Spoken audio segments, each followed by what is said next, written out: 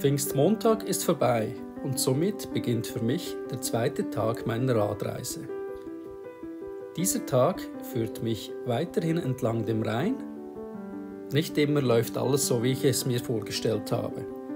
Auf dem Weg gibt es immer wieder Umleitungen, die mich ziemlich viel Zeit und Nerven kosten. Aber auch die Suche nach einer geeigneten Unterkunft fordert mich ziemlich. Wie es weitergeht, das seht ihr gleich im Anschluss.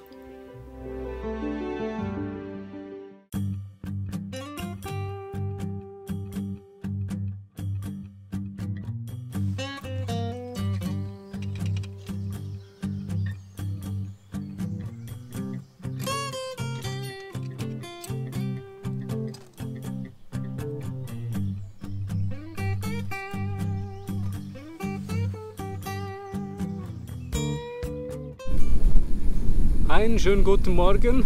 Ich verlasse soeben den Campingplatz. In der Nacht gab es ziemlich heftig Regen. Äh, war eine Bewährungsprobe für mein neues Zelt, hat aber einwandfrei geklappt.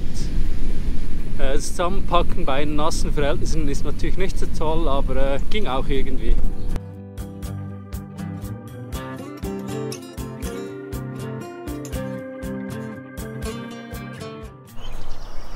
Heute folge ich ganz streng der Eurovelo 15, dem Rheinradweg. Die, das Bauschild unten rechts. Diese unscheinbare Hütte scheint noch aus dem Zweiten Weltkrieg zu sein, denn im Inneren sieht das nach einer Schießscharte aus. Spannend.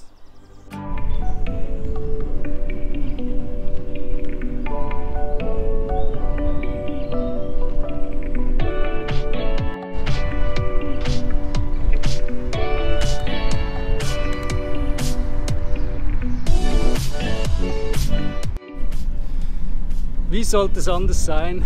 Unten an der Eurovelo 15 gab es eine Baustelle mit Fahrverbot. Nun darf ich eine Umleitung fahren.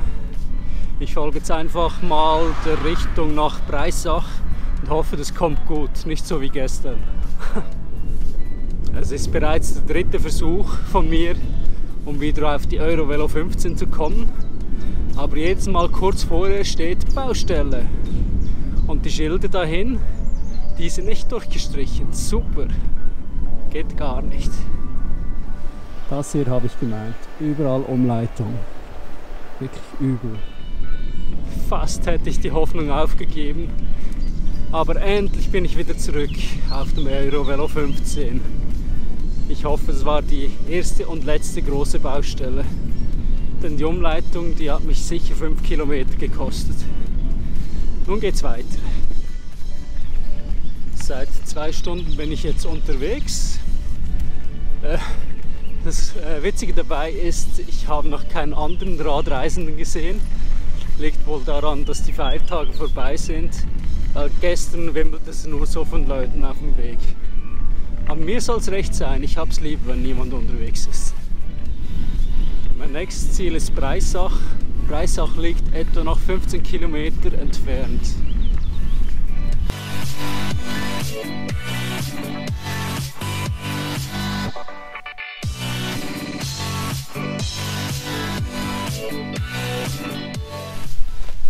Möchte euch mal zeigen, wie der Rhein hier an dieser Stelle aussieht. Wir befinden uns kurz vor Breislach. Sieht, der Rhein ist ziemlich breit. Wohl, hier ist jetzt ein bisschen zusammengekommen. Wenn man zurückblickt, sieht es noch breiter aus. Und der Witz daran, das ist der Altrhein hier auf der deutschen Seite.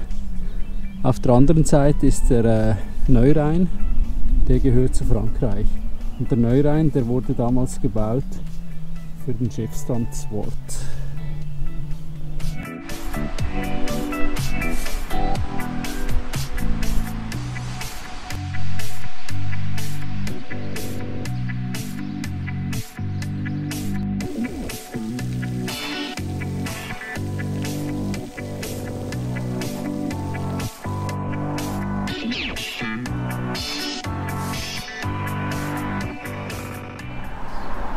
Ups, bin ich schon zu weit geradelt.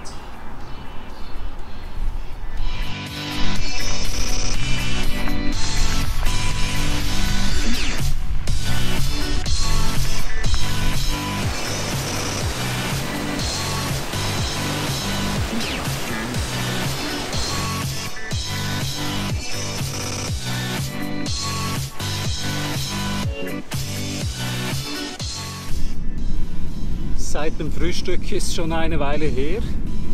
Ich verlasse jetzt die Eurovelo 15 und suche mir etwas fürs Mittagessen.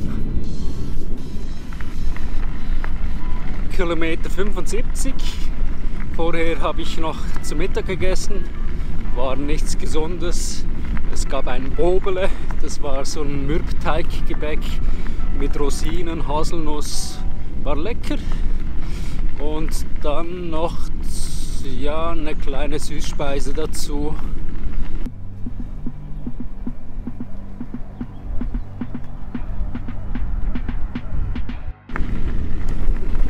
Vorhin bin ich ganz in der Nähe vom Europapark Russ vorbeigefahren. Ähm, der Kilometerstand für heute ist schon über 100. Also das gibt auch wieder eine schöne Zahl am Schluss des Tages. Äh, langsam muss ich mich um den Zeltplatz kümmern. Es ist jetzt doch schon 2 Uhr. Mal gucken, wo ich dann was finde. Zwischendurch braucht es auch mal eine Pause und da lohnt es sich natürlich, die Aussicht auf den Rhein zu genießen. Und zwischendurch darf es auch wieder mal ein Geocache sein.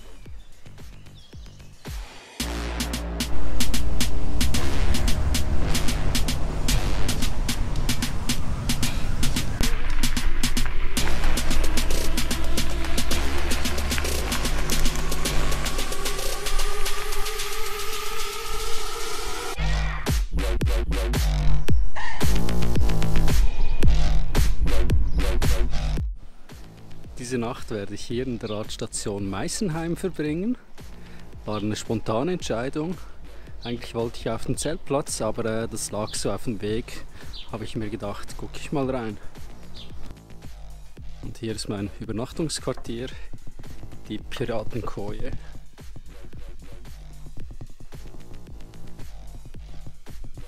Das Bett hat sogar ein Fliegennetz.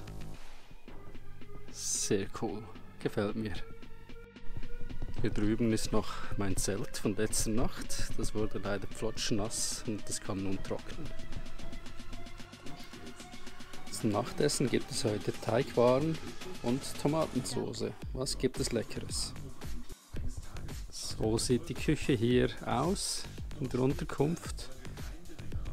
Also wirklich sehr schön eingerichtet, richtig rustikal.